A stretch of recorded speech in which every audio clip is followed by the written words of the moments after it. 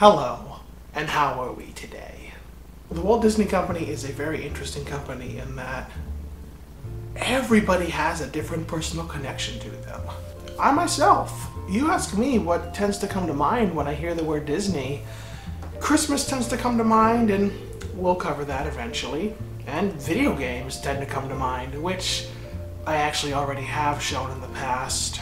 But another thing I find unique about the Walt Disney Company is that no matter what part of the company you're talking about, the media does tend to have this familiar quality to them. You don't watch something made by Disney without going, this feels like Disney. Even when they try to be experimental and do something different, there is that weird bit of familiarity.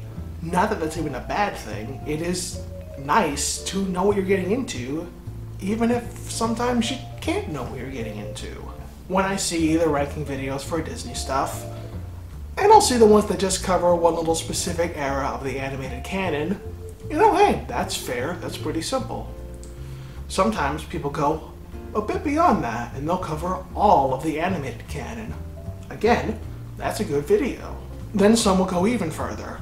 They add the Pixar stuff in there, or make a separate video with the Pixar stuff. Again, I like where this is going. And then when we go even further than that, some people are willing to do the direct-to-video stuff. Which probably aren't as infamous now, but still don't tend to come up as much. But it does happen. So why don't we have Disney ranking videos that do the entire company? Dead serious. Why aren't there a series of videos doing every single film created by the Disney company, no matter which part of the company made it, comparing them all together. And that's what you're watching right now. Yes, as the title of the video shows, and especially the thumbnail shows, I'm still starting at the very beginning. There's no other better place to start, and trust me, it took a while to come up with that. I may have wanted to be different, but you just have to start at the beginning. I'm not stopping at the animated canon. I'm not stopping at Pixar. I'm not stopping at the direct-to-video sequels. I'm also covering the MCU. I'm also covering the new Star Wars stuff. I'm covering that period of time they owned the Miramax company. I'm covering Buena Vista's videos. I'm covering the live action stuff that does say Disney. I'm covering TV movies. I'm probably even covering TV specials that are feature length or close enough. Two-parters are a bit more in the gray area. I'll get into it more in a video coming soon because that's the better place for that topic, but some two-parter stuff sounds like it should fit and some stuff sounds like it doesn't, so I may need some help on that one. But anyway, we'll start off simple enough. Let's look at the golden era of Disney animation. The first thing I want to say is I'm really glad we're out of that weird period of time where people were dead convinced Snow White and the Seven Dwarfs was the first animated film ever made. I'm aware that there is now a debate on if it's the first hand-drawn full-length animated feature. And from what I understand about that, the consensus seems to be it probably isn't the first of those either, but any that existed before Snow White is now sadly lost to time. And if you're wondering why the designation is now hand-drawn, the films we found from before Snow White and the Seven Dwarfs tended to be like The Adventures of Prince Achmed, which was done with paper cutouts. Because this was the first film by the Disney Company, well, think for a second about what the Disney company, which I'm not even sure entirely was a company at this point, what they were doing beforehand. Walt Disney and his crew were making animation, and they were making it for theater spaces. They were making theatrical shorts. And that is what brings me into my one criticism of the movie, is that the script does kind of feel like people who didn't know how to write something that was an hour and a half long. That's the most shocking bit. The shorts were short. They felt short, they were short. they jumped into an hour and 26 minutes. that feels a bit of a stretch. I'm surprised they didn't try to shoot for 40 or 50, because that still would have been a feature length. But because of it, there's just some scenes that don't advance the plot at all. It is not necessarily entirely a bad thing. The jokes can actually be pretty funny in this movie. And the Walt Disney Company is well known for their great visuals because they make great visuals. So having a scene that's just an excuse for some really great visuals is not that bad a thing. The only other thing that comes from that criticism is because they were used to writing characters for shorts. Shorts characters tended to be a bit flatter since there's not much of a reason to fully develop these people that you'll only see for five more minutes of your time. So because of that, a lot of the characters in Snow White and the Seven Dwarfs technically you could call two-dimensional. But even then, that's not entirely a bad thing because of one fact. The genre. The genre of this movie is a fairy tale. A genre filled with very simple characters because they're archetypes. It's a plot that you already know going in ahead of time and characters you're supposed to immediately recognize because they're archetypes. Don't get me wrong, it still makes it a bit weaker than some other films, but for a movie as old as this, it's really good. Besides, even with the two dimensions of the characters, there's enough to like about all of them that you're going to end up finding that one character you like so much, you will insist with your dying breath, they're the one that is three-dimensional. Mine was Grumpy. He starts rude and selfish, he's taking none of this. Throughout the movie, he actually grows as a character. He becomes nicer and softer and he cares about what's going on. Character development for the only character. Look, hear me out, okay? He has better chemistry with Snow White than the prince does. The prince doesn't even have a name. Okay, that might not be true. Now, these are ranking videos, as I discussed, and they're movie reviews. Online, there's a bit of a, I wouldn't call it discourse because no one's arguing about this, but there's a bit of a suggestion, a trend, I'm not sure what to call it, but a lot of reviews these days online are blurring the line between review and video essay. And I like both things just fine. Uh, the problem is that reviews are just supposed to be one person's opinion on the thing they're reviewing. It's nice when they know some other side stuff as well, but knowing tons of side stuff is integral to a video essay. Kind of side important in review, in fact not even always needed. So if you're coming into these hoping that I spill a lot of info on these Disney films or really dive into animation history, I'm actually going to try to avoid doing that a lot just because I'm afraid it will kind of force my opinion on some things, as I would rather just rank every single video from Disney, which, yeah, this is going to get unfair sooner than later, so I might as well leave trivia out of this. Still, if I know some trivia, I'll share it. Even if I'm not entirely sure of the validity of that trivia, but I'll at least tell you if I don't know how valid it is. I don't know if I can back this up. I don't really remember where I heard this from. I swear one of the Disney 9 old men shared this, but I could be wrong on that. Apparently in the original drafts, the prince's name was Florian. And if that's true, I see why they didn't keep that. Because if the audience had heard the name Florian, they probably would have been laughing throughout the rest of the film's runtime. Let's go on to the Evil Queen. Who again, quick trivia I can't necessarily back up, I believe her name might have been Grimhilde, but again, don't quote me on that. The biggest trend that stays from this movie onward is the big bombastic villains. And for being one of the first, she's still one of the best ones. like all the other characters, she lacks a bit more depth than you might be used to, but that's honestly her biggest strength. She's just evil. There's no big grand reasoning, she's just petty and spiteful because she's evil. When she's more serious, it tends to be more dark and creepy.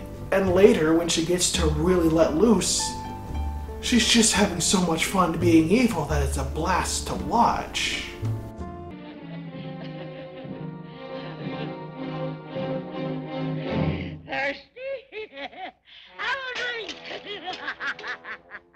So as the very first Disney full-length animated feature, still really, really good. It's more on the enjoyable end of the spectrum than deeply emotional and raw, which a lot of Disney films have been very good at in the, you know, almost a century by this point. but fun and vivid are definitely not bad things. I mean, if anything, maybe that helped this movie age as well as it did. I genuinely couldn't believe how much the film held up when I saw it not that long ago, and then on the rewatch again here to make this list more accurate. That being said, when it comes to the star rating, it's a low four stars. It's good enough to be four stars, but there's times where it's kind of only just barely reaching that four stars. So I don't think I made this clear just yet, but there will always actually be a list linked in the bottom of the description for all of these videos will be a Letterboxd list. And that Letterboxd list will have all of the movies from the video series. Like I said, it's everything. Does that mean the list will be kind of unfair? Well, it also means it will be kind of fair, if that makes any sense. There'll also always be an end graphic where, for the ones like this, where there's a bunch of movies, that actually does explain which movies I did think were better or worse for just the ones featured in that video. But to make the point I was trying to make, here's a quick rule of thumb about that. Because Snow White is at 4 stars, but a lower 4 stars, any movie that rates higher than that in the Letterboxd list, consider those to be the essential viewings for the company, at least in my personal opinion. Look, if you're an animation buff, an animation historian, Snow White's necessary viewing. There's stuff you can really only appreciate if you understand what went on and what has come since.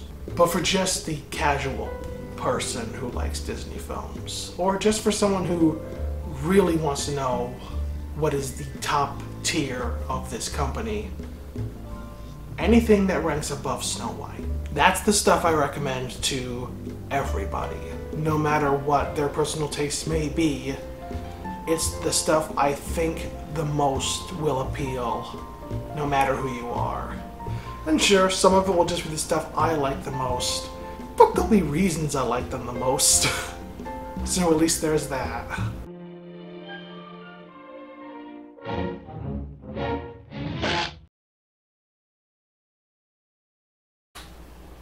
So I figured since I'm recording on different days anyway, hey, let's give you guys a change of location. You uh, get to see the fridge that sometimes makes sound, so I have to turn it off. And you also get to see that I eat cereal. What a fun fact. So Pinocchio being the second film in the company's catalog kind of instantly changes things up really drastically. Snow White's really good and is aged really well. Uh, the amount that Pinocchio beats it, though, is a pretty wide margin. So if you aren't aware, or if you just forgot, Pinocchio is the Disney film that started the trend of following your dreams, wishing upon a star. I don't really think that that trend has kind of stayed all that much. More modern Disney films have kind of poked fun at that one and deconstructed it really hard, which is why in rewatching it, I realized Pinocchio started another trend that we've kind of all forgotten started there, even though it's probably the trend a lot of us associate the most with Disney films. Jiminy Cricket was the first Disney sidekick. You know the Disney sidekicks. Funny, goofy characters, and yes, characters, sometimes there's more than one. Let's take for example The Little Mermaid, where Sebastian and Flounder are the Disney sidekicks. And Jiminy's definitely a singular character.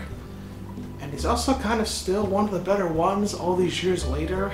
He really fills it out. A lot of his dialogue is very jokey and comedy based, believe it or not. And when it comes to how useful a character as he is, he's definitely a plot point, but he kind of doesn't help all that much, which is not a negative on the character.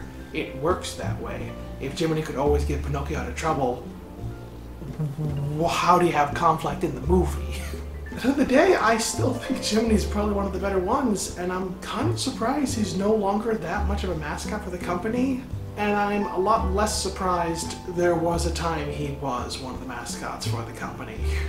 Also, if you really want to be surprised, Jiminy's a lot more thirsty than I remembered.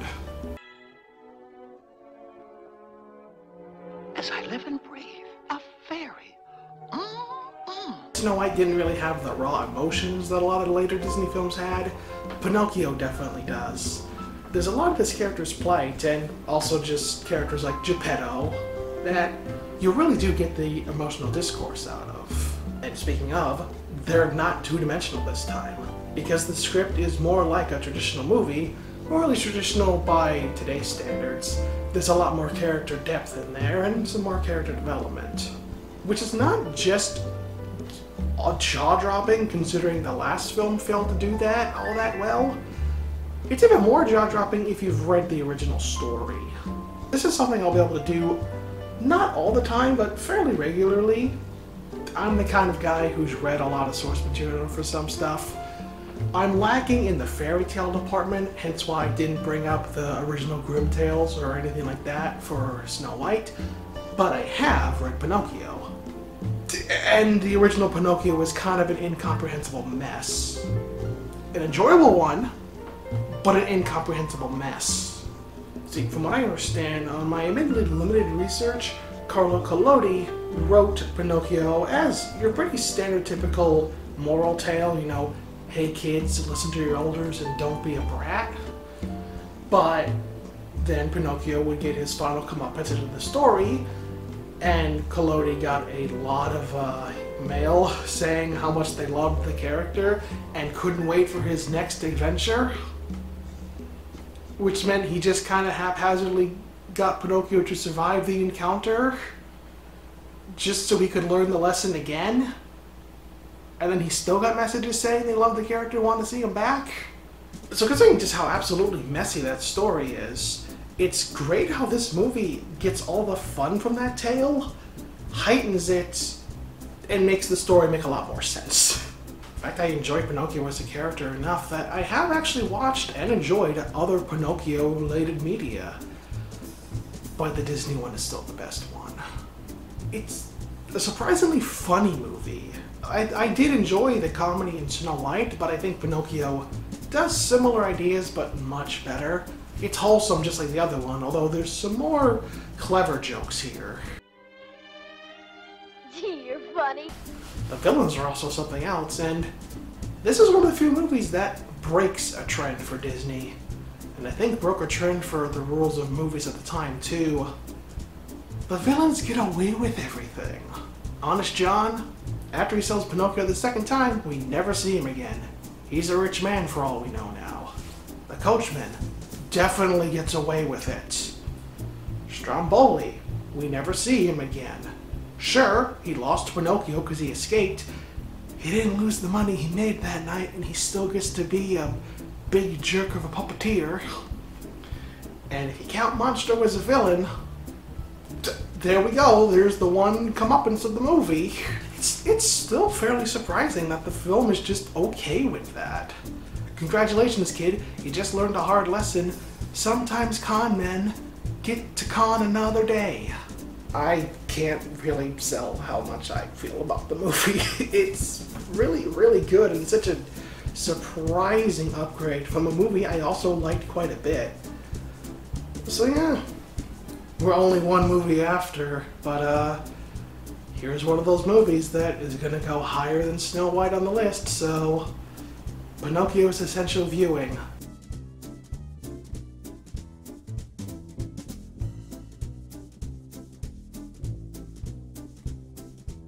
Oh, and uh, before I go, just one more thing. Call me immature, call me juvenile. I love that this film has three, almost right back to back, uses of the A word. He'll soon make a jackass of himself. Make a jackass out of yourself. A jackass? Can we bring that trend back, Disney? Can we please have people calling each other jackasses in your movies a lot more?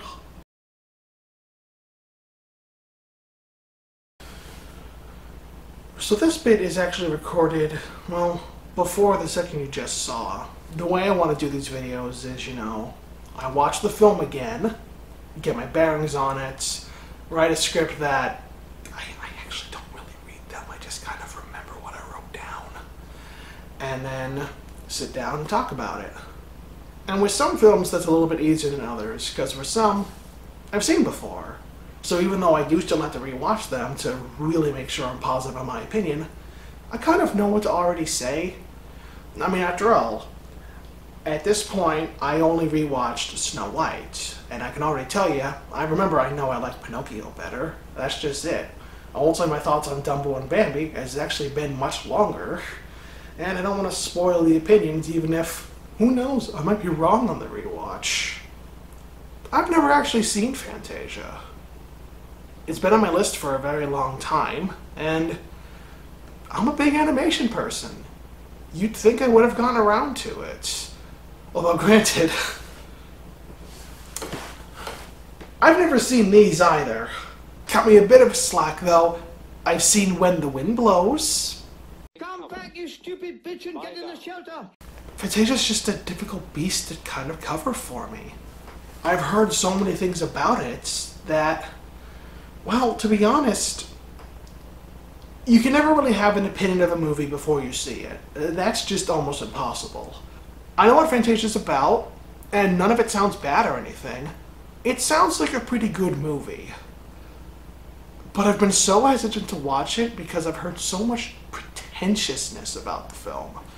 Not even about anything it does, just the way some people describe it. I keep hearing, oh no, this is absolutely the greatest film the Disney company ever made. And sometimes that's all they say, which doesn't really help anybody. I've also heard this phrase this is what people think on a subconscious level when they listen to music. And I swear I'm gonna bust an artery if I ever hear someone say that again unironically. You have no idea how subjective that phrase is, despite how objective you are trying to make it. It's just visuals set to music that the people who made the movie think fit that music the best. You don't have to get philosophical. I've only ever heard this pretentious, garbled nonsense of tell the movie's more important than my existence. if you want people, more people to see the movie, great. Just tell them what it's about. Just tell them it's an orchestra film that's more than half animated. It's like it, it's silly. Maybe I'm just being a, a bit nuts, but the way that animation historians and animation buffs talk about Fantasia made me not want to see Fantasia as much as I want to. I do still want to see the movie, and I have to tackle it for this series. And I almost feel like that's one of the reasons I did this series. So I had a real concrete excuse to see Fantasia instead of just the things people told me I am guaranteed to love about Fantasia. Despite the fact that sometimes it didn't even have anything to do with what they do in Fantasia. Because I've already had a live action segment for this segment, uh, forgive me for just pulling out the microphone and doing an audio only version while you look at the film clips. Just feels a bit more natural and is easier for me to get this out without having to set a whole bunch of stuff up immediately after finally seeing the movie. Fantasia is admittedly a series of ups and downs for me personally. Fantasia is an incredibly avant garde film.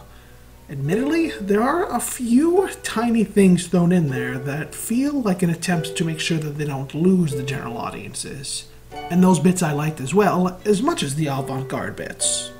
It is still mostly avant garde, and that's one of the big reasons people do adore and cherish, or at the very least, heavily appreciate and respect the film. It still feels like Disney at the end of the day, but it feels like something Disney rarely really, really, really rarely tries to do, which is to be daring and unique and very much art piece. And I won't lie, it would be interesting to see what the present would be like if the film had performed very well. But my more cynical side also says that we just would have gotten tons of Fantasia ripoffs in the bargain bin. Alright, so I sound like I'm stalling. I like the movie. I quite enjoy quite a few bits of this movie. I also think some of it's kind of boring. I can get into specifics for that as well. The first half an hour of the movie is a very slow plotting pace. It's the startup. It's preparing you for what the rest of the movie will be like. So for some people, they'll get really into that and will just prepare them even more for the really bigger, grander stuff that comes along, where there's actually real stories there, where there's actually characters there, versus just fun imagery set to some music. More specifically, it's almost entirely just the Nutcracker suite for that first half an hour. But then there'll be people like me who were incredibly bored during that first half an hour. Once the half hour is over, we get to the Sorcerer's Apprentice, and there's a reason that's the highlight of the movie for a lot of people, not just me, but including me. That's not to say the shorts after were bad. I actually still liked all the segments after Sorcerer's Apprentice. Sometimes they would still lose me for a little bit though. They'd win me back, but they did lose me. Nothing bored me as much as that first half an hour. But that's all I can really say is my big takeaway. I get why it's beloved and cherished, and I don't like that it is oversold and overhyped by that crowd because I can see why some people would just not gel with this movie nearly as well as they do. As for me, I guess I'm in the middle. There's some really powerful stuff in here that did fully get my attention and that I really loved. I'd love to see plenty of these shorts just by themselves. I think I would absolutely love that. But there were a few times it lost me, and the entire beginning just completely loses me. It's a three and a half star. It's quite enjoyable. Maybe I'd like it even more if I saw it again. It's just there's bits of this I don't want to see again, and I feel like even a rewatch is not gonna fix that problem for me. Still very glad I saw it, and I'm still very happy with the bits that I really liked. It's just not as good as Snow White, and boy is that a weird thing to say about Fantasia.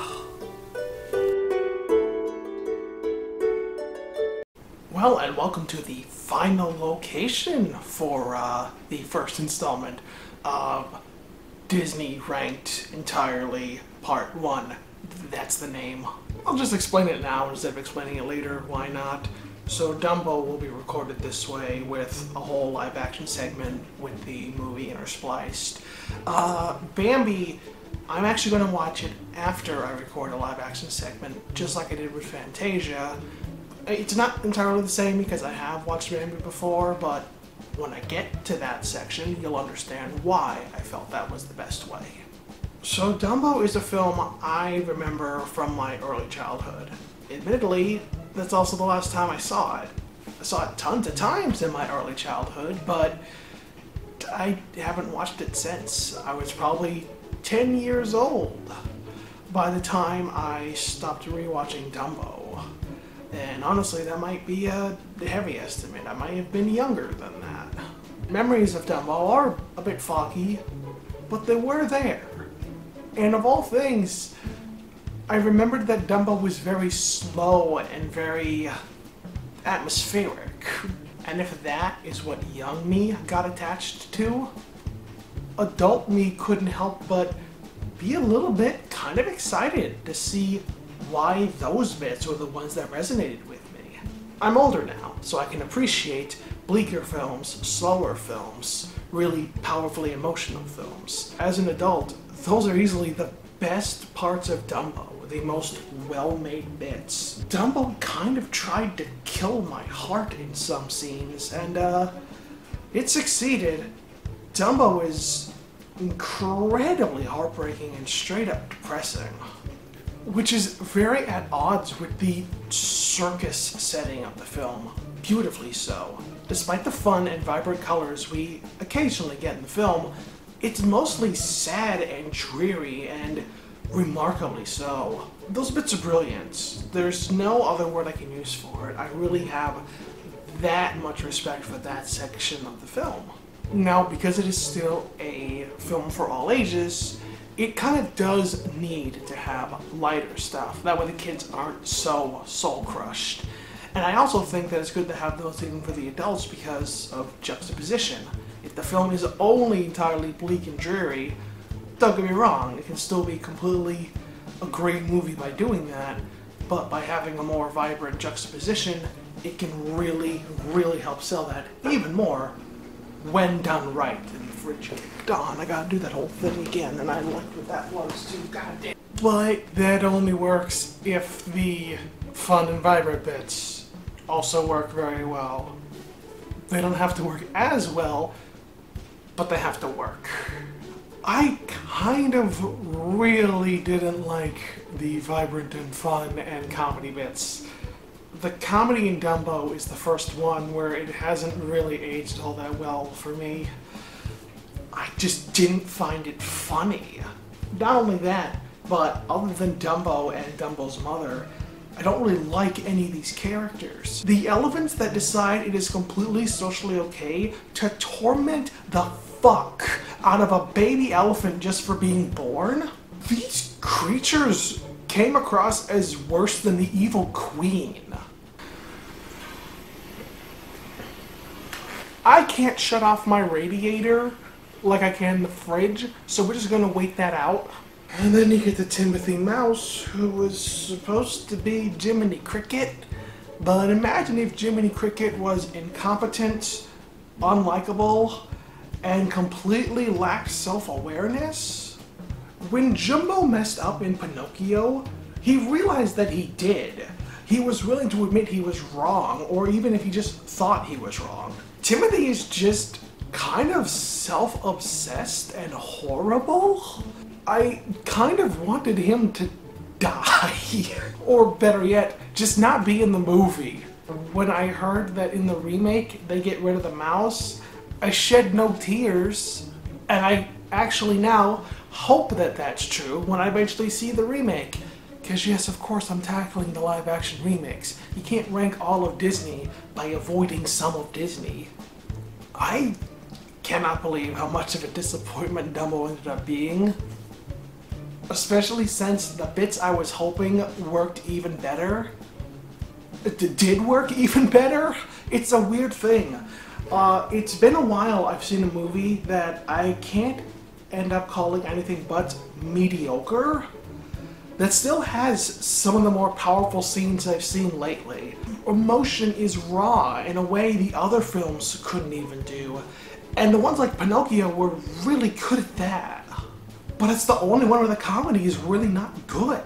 It kind of hurts how mediocre this one is. Uh, but I will say, young me really got a lot out of this movie. Young me definitely thought the comedy was pretty good. I mean, it's very simple, stupid comedy, and kids will laugh at a lot of things. And young me was still able to emotionally resonate with the soul-crushing atmosphere of this movie. I can say this, as an adult, I don't think Dumbo's worth your time despite how beautiful some of the sections are. But this is a worthwhile movie for a little kid.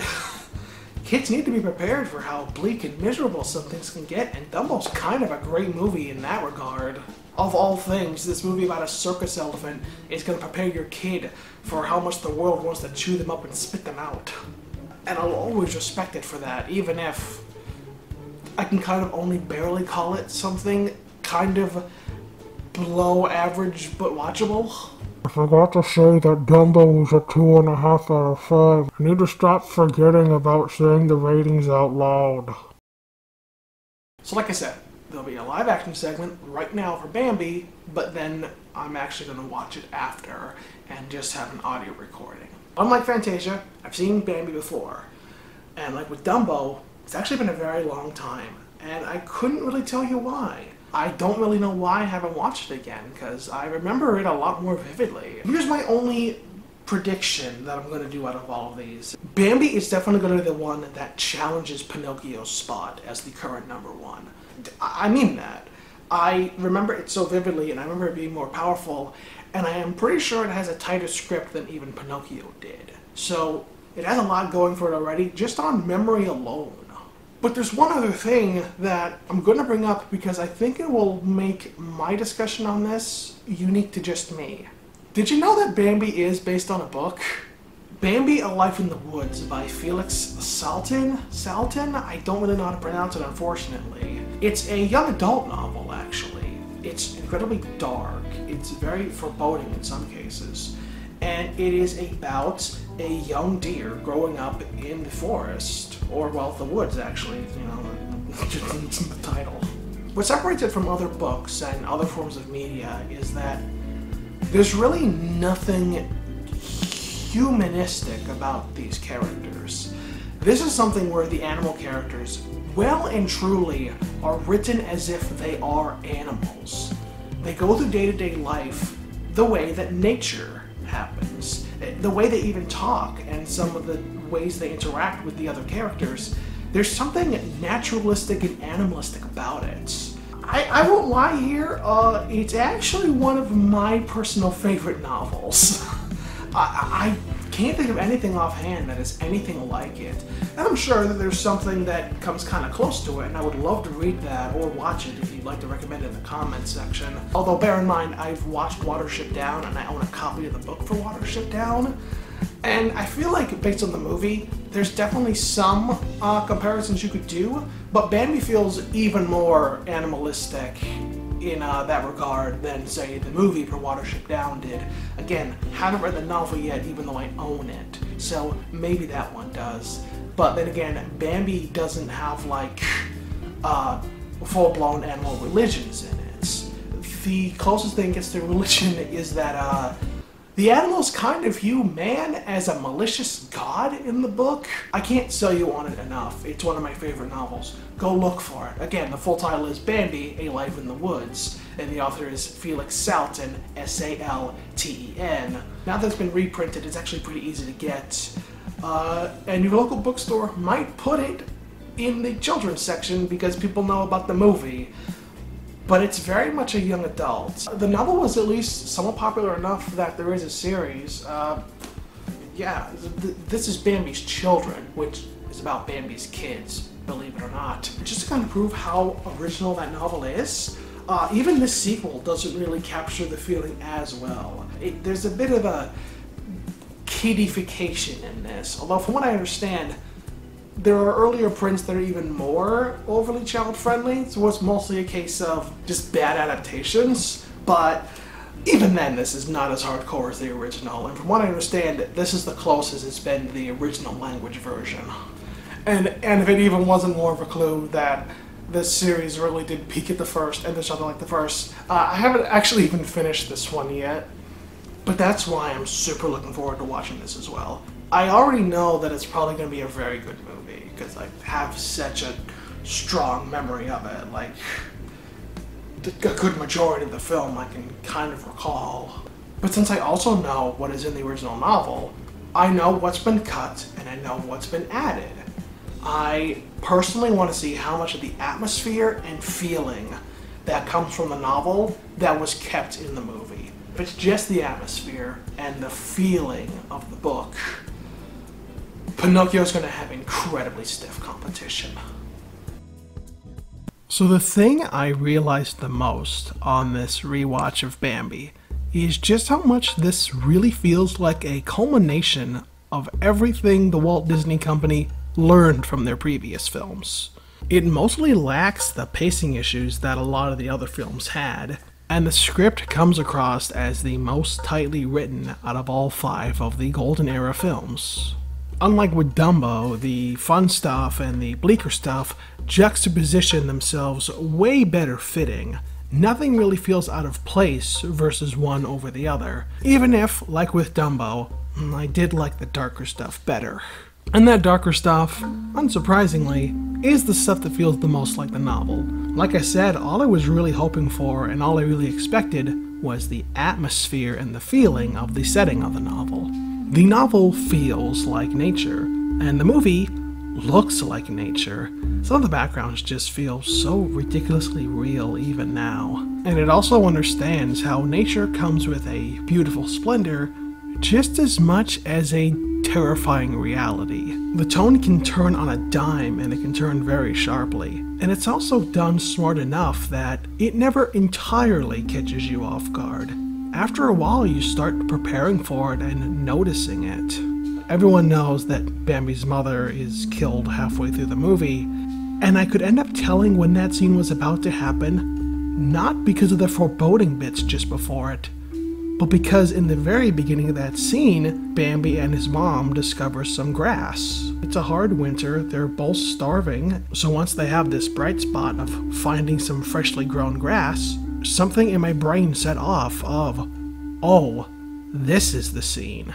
I was conditioned to know that anything happy is usually the biggest warning sign of something bad to happen. And I love how the film prepared me to think that way. While I do still prefer the book, and I do still prefer what the book does, I'm not an adaptation snob kind of guy. I understand why changes are made, and in all honesty, what I look for in changes is just to see if it is made for the better of the movie. And the thing that's actually kept the most from the book is something the book barely did. The book has elements of a coming of age story, but because it really does feel like almost a nature documentary at points, it doesn't super focus on that. It instead focuses more on the setting. With the movie, it really dives deep into the coming of age story, which is why Bambi and his friends do kind of sound and act more like human children than animal children. And again, I love the novel for really not getting into that. I understand why that change happened because it can help real children actually get more emotionally attached to Bambi and understand what's going on, really feel the coming of age aspect. So it's a change I understand, and I think is actually needed for the type of movie they're going for, even if I may like the book better. So I really do love the emotional aspects of this movie. I like how well paced it is. Except for when Bambi and his friends fall in love, the pacing really grinds to a halt in that section. So as a whole, this is one of the films I have the least complaints about, and yet it's still not my absolute favorite. Pinocchio does still win this competition. But it's a better film than Snow White, so it's definitely on the end of this is necessary viewing. It's a very solid 4 out of 5.